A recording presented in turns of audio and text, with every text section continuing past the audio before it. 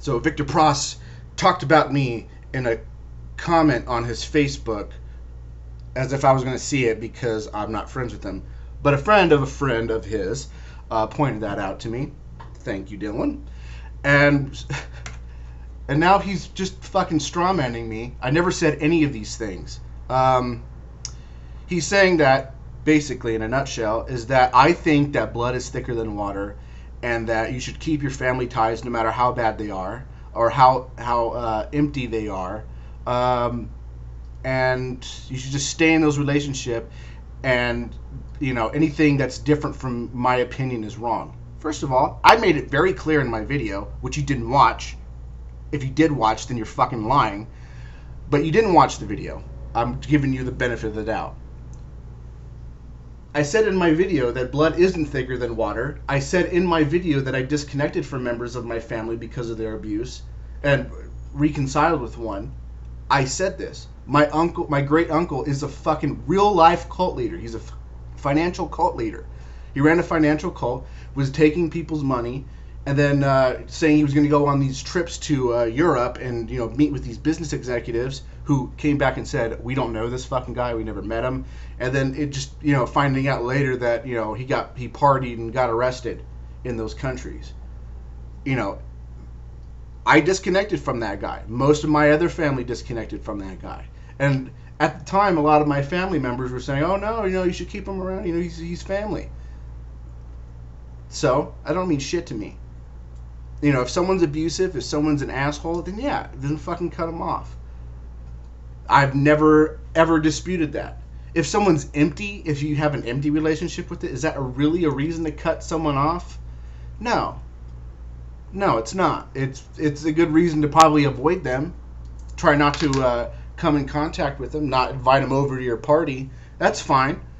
Cutting them off from your life, that's that's a little bullshit. Secondly, um, I don't have anyone with my blood that I know.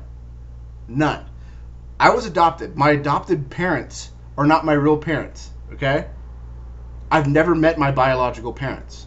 So blood than thicker than water is, is bullshit. I have a very good relationship with my family. Very good relationship with my family. Why should I just cut them off just because they don't agree with anarchy? And that's the pro that's the point that I'm making. Is that I've given examples of people disconnecting from their families because they would not accept a fucking 10 minute uh, argument for the non aggression principle and uh, market anarchy. It's bullshit. I, there's a lot of people that I know that I associate with that are like communists, socialists. I'm not actually going to cut them off just because you know they don't agree with me politically. That's fucking so goddamn childish. But you know he didn't watch my video. He's just assuming shit, right? Because he's a fucking asshole. I'm fucking so goddamn sick and tired of these fucking Molyneux cultists. And yeah, Victor, you are a Molyneux cultist. You are.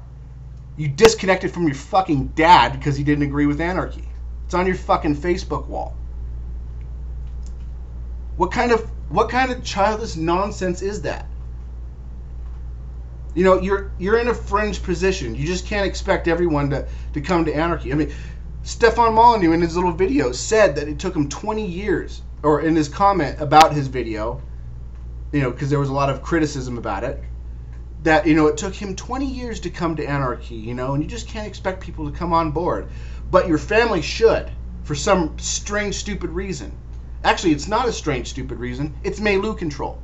He's trying to convince you to separate from people who don't agree with you politically so that you live in this echo chamber where no one you're not allowed to have critical thought this is what cults fucking do and i also said specifically, and you're just not even realizing it. And Michael Shanklin said the same shit that just because you listen to a Stefan Molyneux podcast, I said that just because you listen to a Stefan Molyneux podcast doesn't make you a cult member.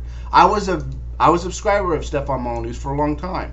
When I found about the Defoo shit, and I started investigating and seeing the things that he said in in his own words, I said fuck this guy, and I I disconnected from him. I defooed him because I thought what he was doing was absolutely abusive, right? But there's not just you know if you're a, if you're a subscriber of his, you're in a cult. Never said that. Said the exact opposite, actually. I said there's three different types of Stefan new fans. You know, you have the YouTube subscribers, maybe the podcast listeners. That's one group. You know, they're probably more interested in, you know, just the anarchy stuff. They're more interested in the family relationship stuff to a, to a very slight degree. They don't know every, everything.